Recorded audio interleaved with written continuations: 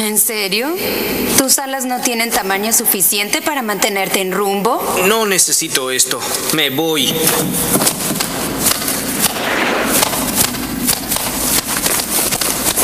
Oye, ¿dónde crees que vas?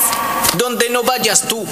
Te enseñaré la isla para que sepas cuál es mi territorio. No necesito favores.